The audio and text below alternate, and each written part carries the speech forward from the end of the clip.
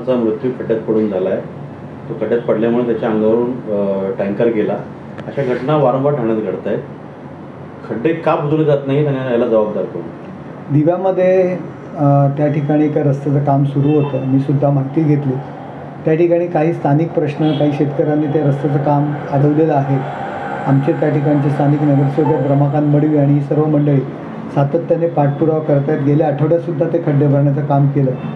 सतत पडणारा पाऊस यामुळे ते खड्डे भरले जात नाहीत. अधिकाऱ्यांना सुद्धा आज ज्या ज्या जेव्हा मला ही घटना घडली त्यानंतर ताबडतोब त्या अधिकाऱ्यांना फोन केला आणि त्या अधिकाऱ्यांची सुद्धा चांगली खडरपट्टी काढलेली आहे. परंतु जर अशा पद्धतीने थांबलेलं काम आणि जी अधिकाऱ्यांची दिरंगाई आहे किंवा कॉन्ट्रॅक्टरची दिरंगी आहे त्याचा योग्य ते आढावा घेऊन त्याची माहिती घेऊन त्यांच्यावरती कारवाई करावी अशा प्रकारचे निर्देशसुद्धा आम्ही अधिकाऱ्यांना दिलेले आहेत.